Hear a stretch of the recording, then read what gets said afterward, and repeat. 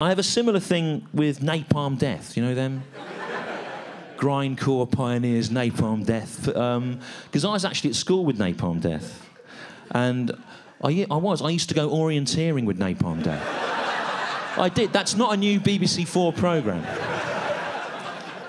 I used to go orienteering with the original lineup of Napalm Death every other weekend all round the Wrekin in, in Shropshire. But uh, it wasn't square middle class watching BBC Two orienteering like you would do. It was second wave anarcho punk orienteering.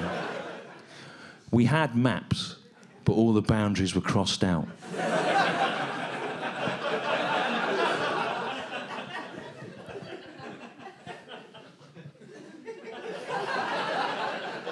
You'd think there'd be more on that, wouldn't you? It's a good joke. It's one of the three best jokes in this in this half hour. That.